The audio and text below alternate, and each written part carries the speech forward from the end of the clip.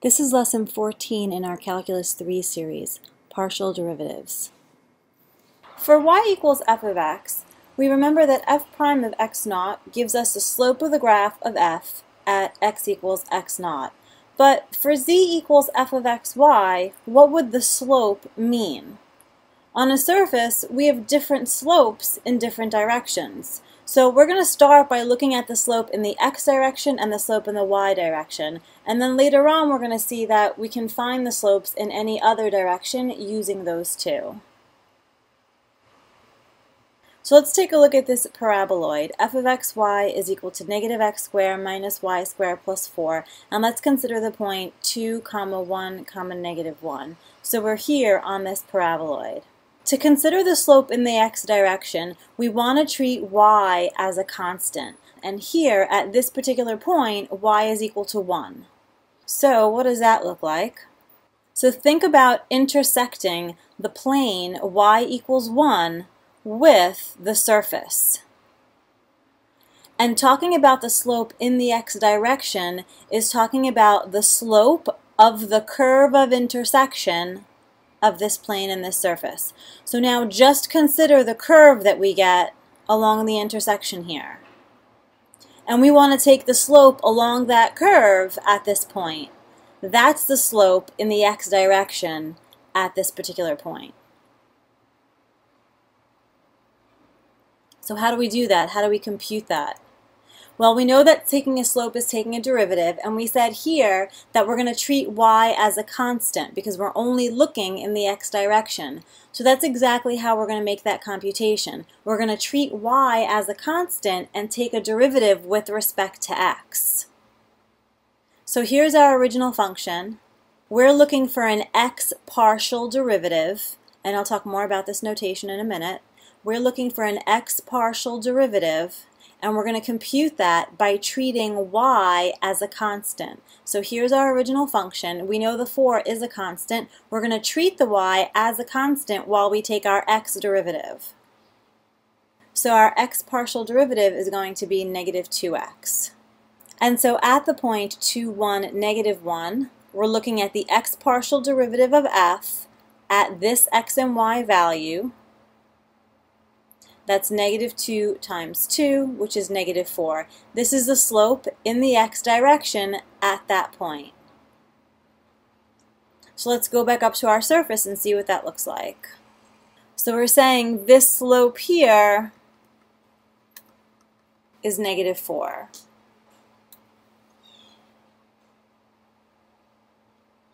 Now let's take a look at the slope in the y direction. For the slope in the y direction, we we need to treat x as a constant and take the slope of the curve of intersection of the plane and the surface. So here at this point, x is equal to 2. So when we treat x as a constant, we're intersecting the plane x equal 2 with the surface. And we're looking for the slope along this curve now at this point. That's the slope in the y direction. So in order to take the y partial derivative, or the partial derivative in the y direction, we're going to treat x as a constant and take the derivative with respect to y. So again, here's our original function. Now taking the y partial derivative, we treat x as a constant, the 4 is a constant, and so our derivative is going to be just negative 2y. And so at this point, we have negative 2 times 1, which is negative 2. So this is the slope in the y direction along the surface at that point. That slope is negative 2. So let's put that in here.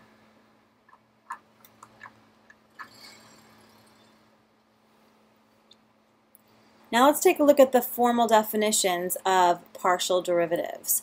So we're saying the x partial derivative of f is the limit as h goes to 0 f of x plus h comma y minus f of xy over h. Now let's think about this for a second. We said that we computed this x partial derivative by fixing y and looking at the rate of change with respect to x.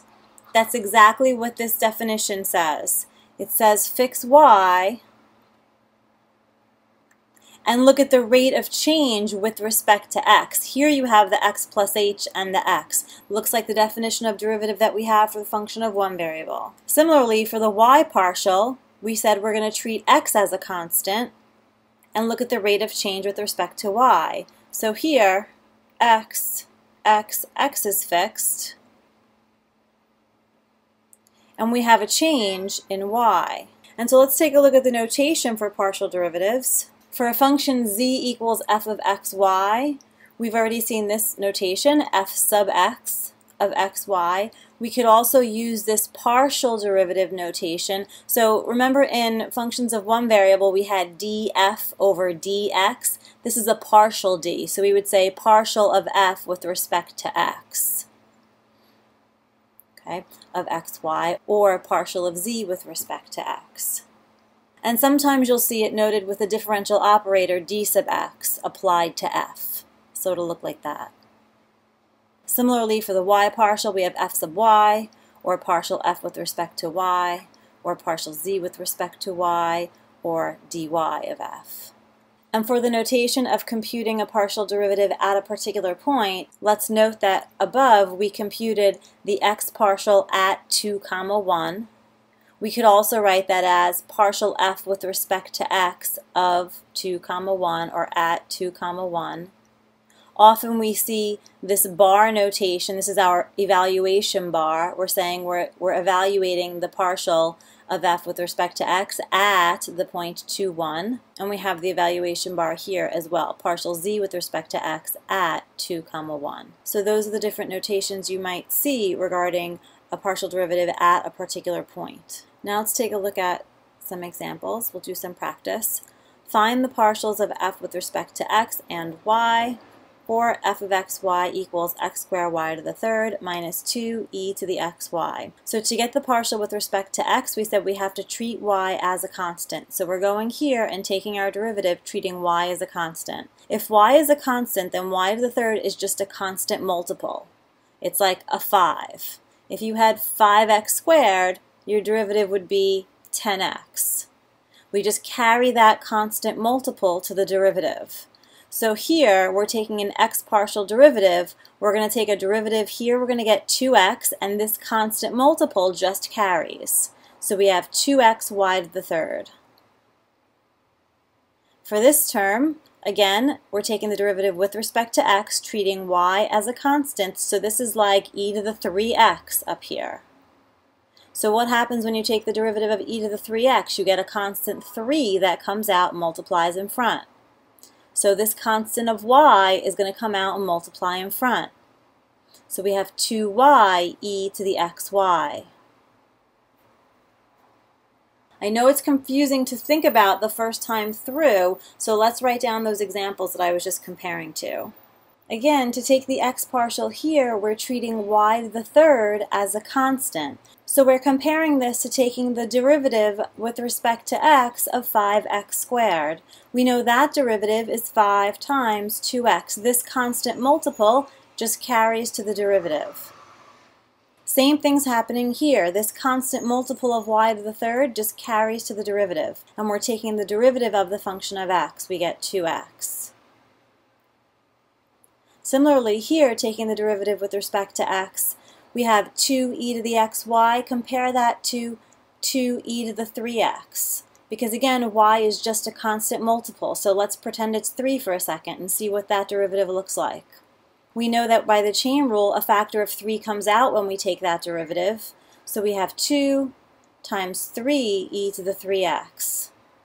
Now our constant multiple here is a y.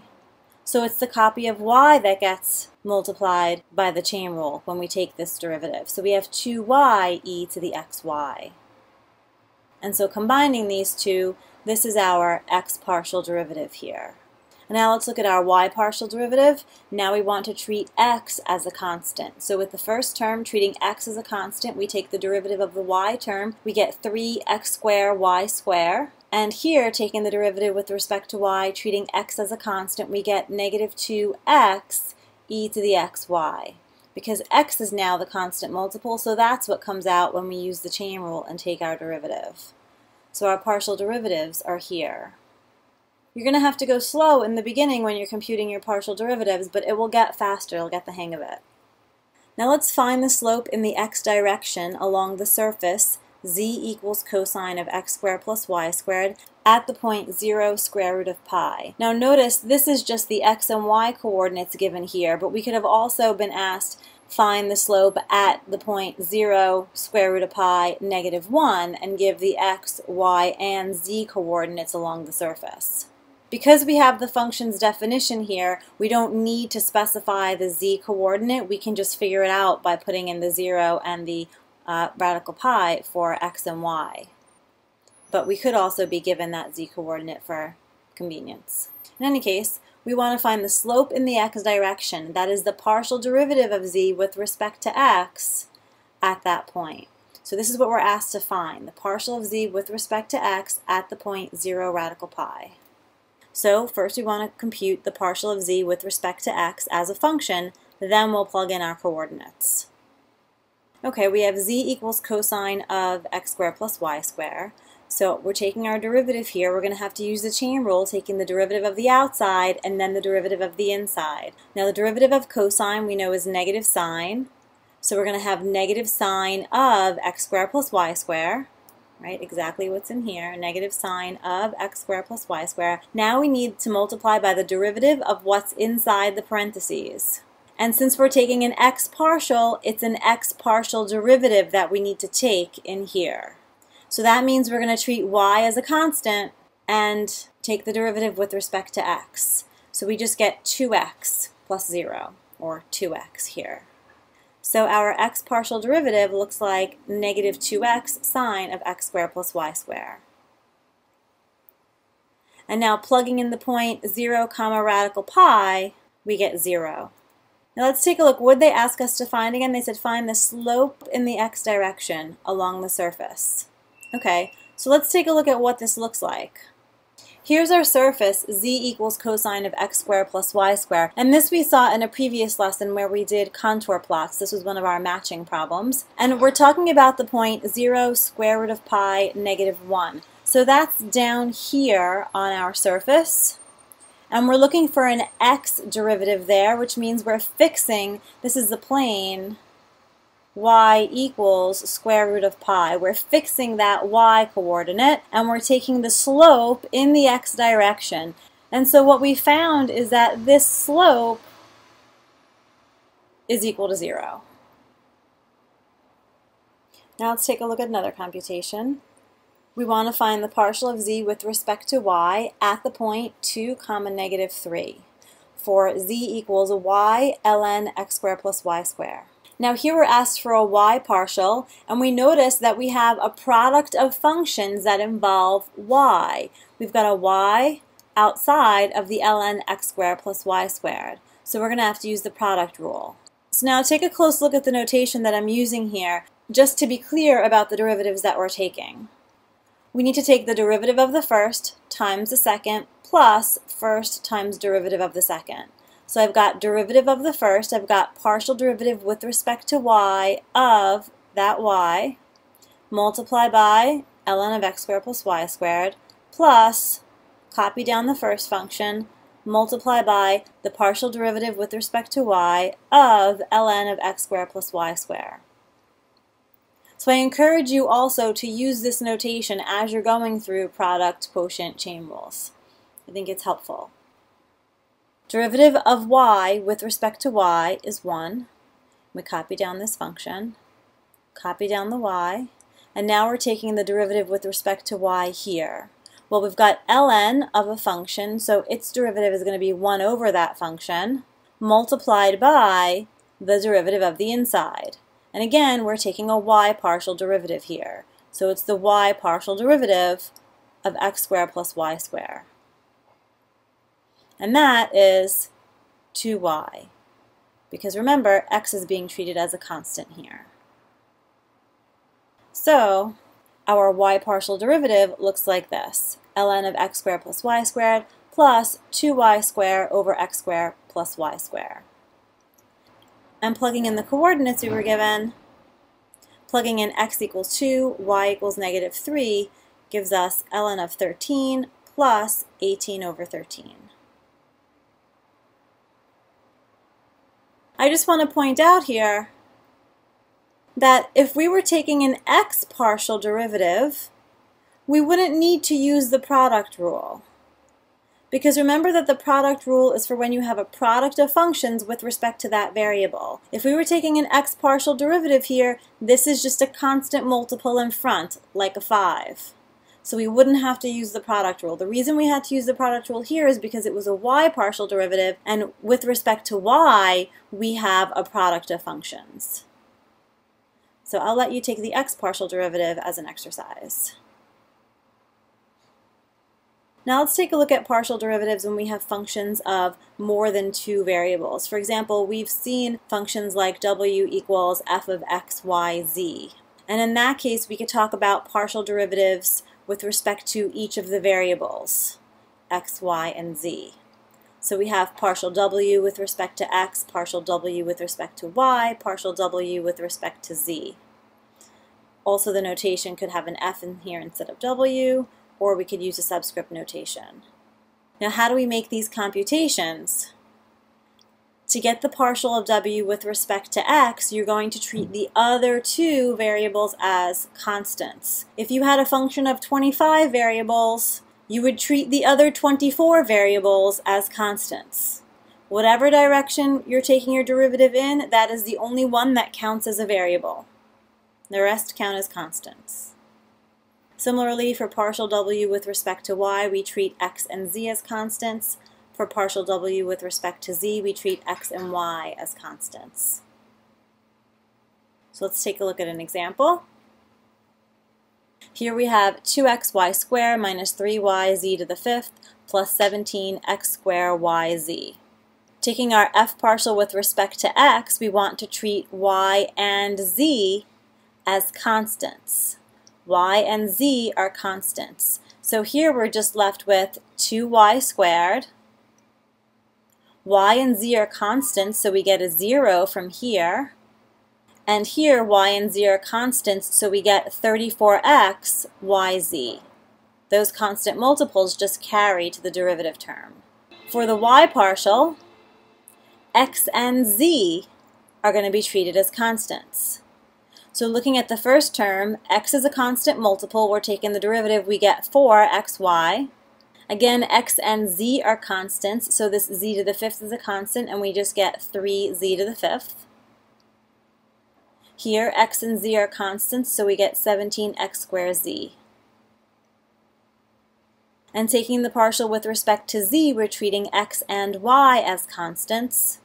So from this first term, we get 0 as our derivative. Here, y is a constant, so we get 15yz to the fourth. And here, x and y are constants, we get 17x squared y. Now let's take a look at a much more complicated example.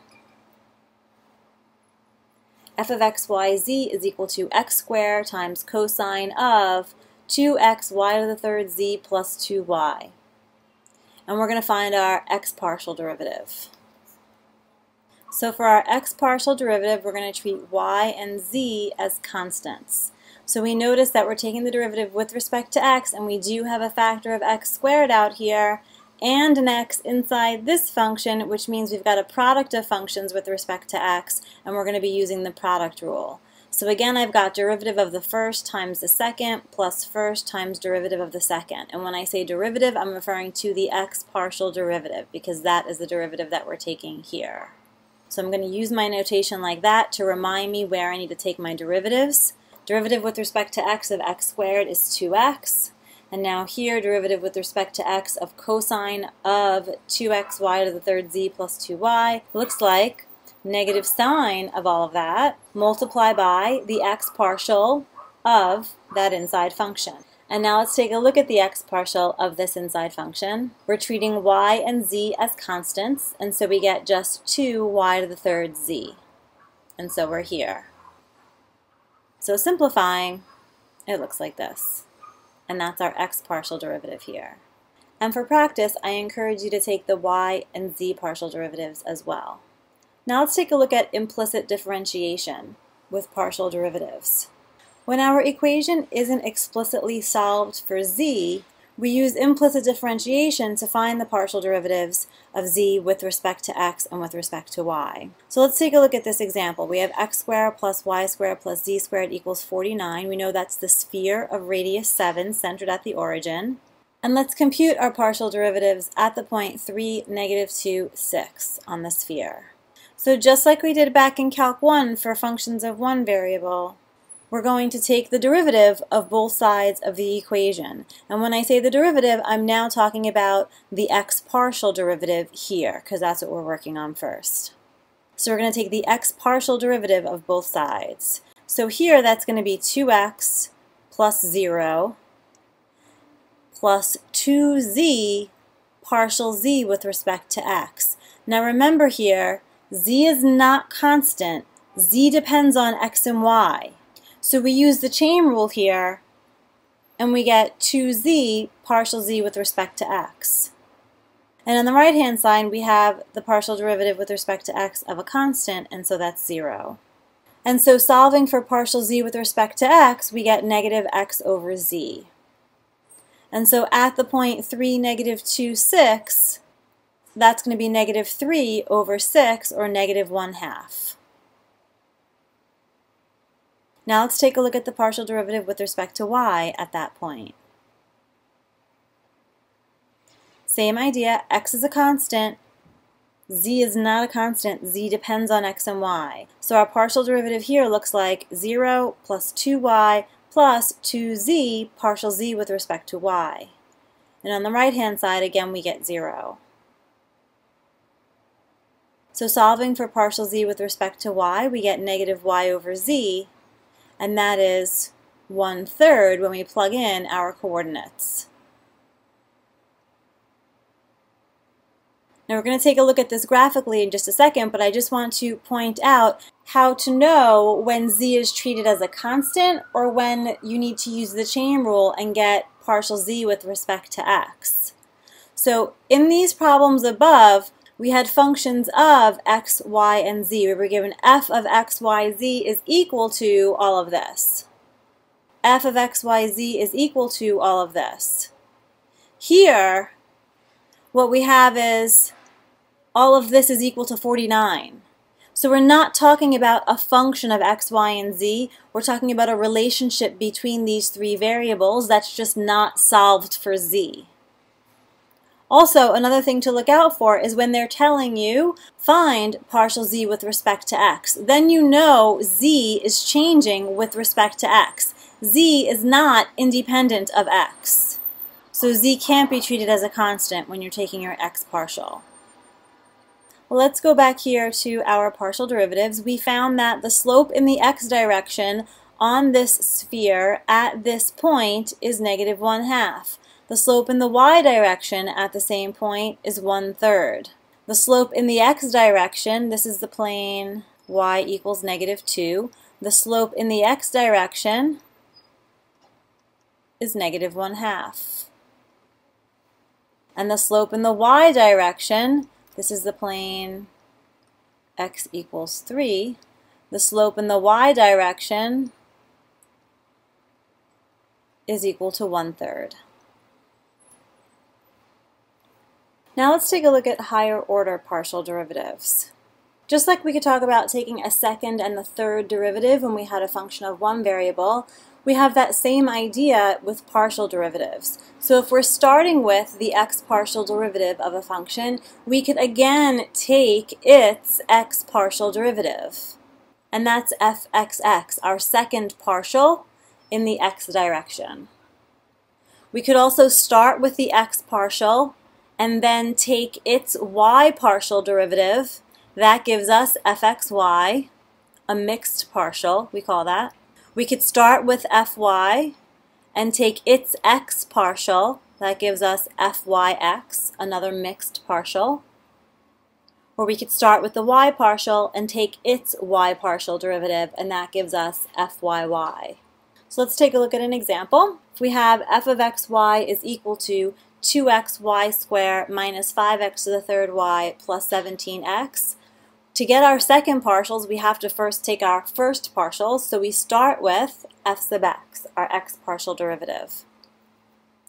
Again, taking an x partial means the y is treated as a constant, so we have 2y squared minus 15x squared y plus 17 for our x partial. And then from that, we can take an x partial and get fxx. So taking an x partial here, we're just going to get negative 30 xy. To get fxy, we're going to go back to fx, and from here, take a y partial. So that's going to be 4y minus 15x squared. Let's take a look at our y partial. fy we're going here to the original and treating x as a constant.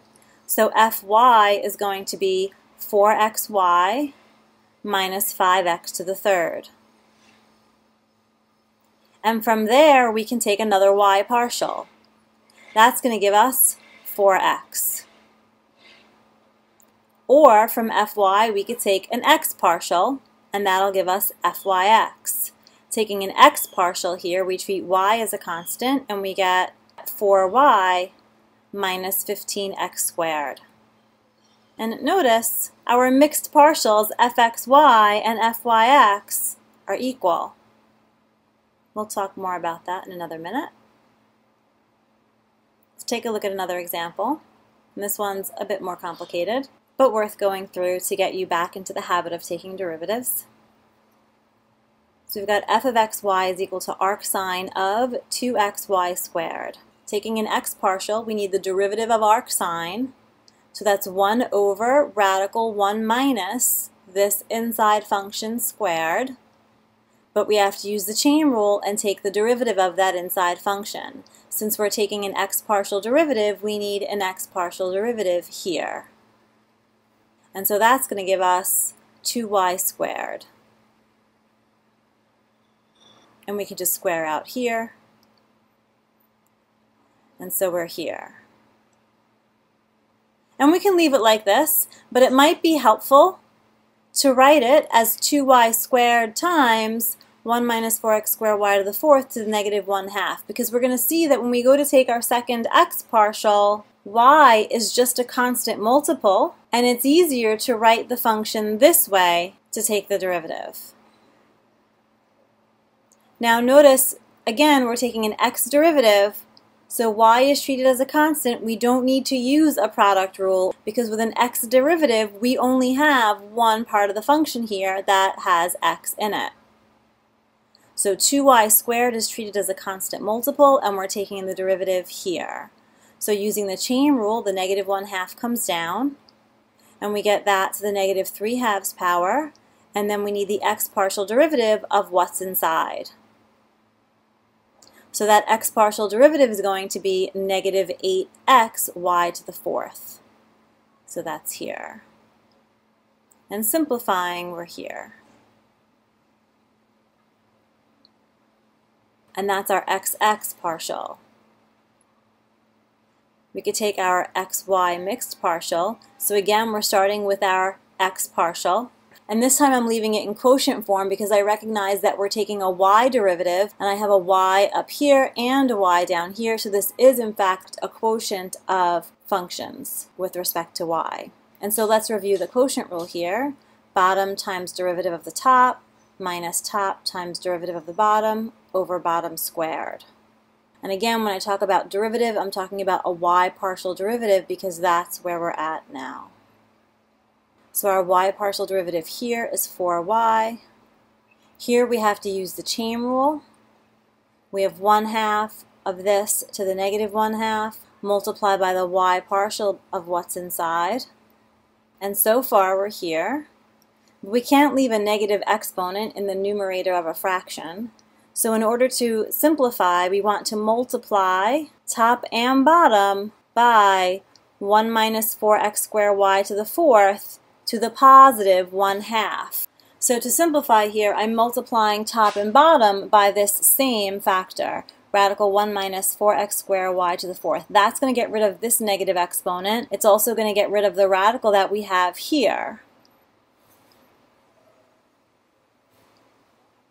Right, it gets rid of this negative exponent, it gets rid of the radical here, and now we have the denominator to the 3 halves power.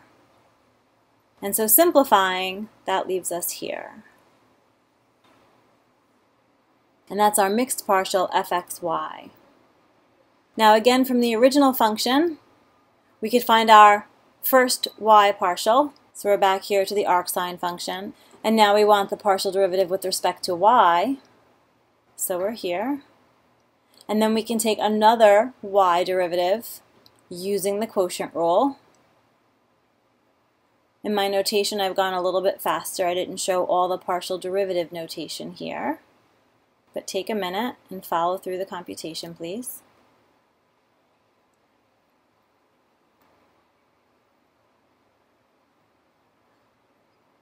And for our mixed partial fyx, we're starting again with fy here and taking an x partial. Again, we need the quotient rule because we do have a function of x over a function of x.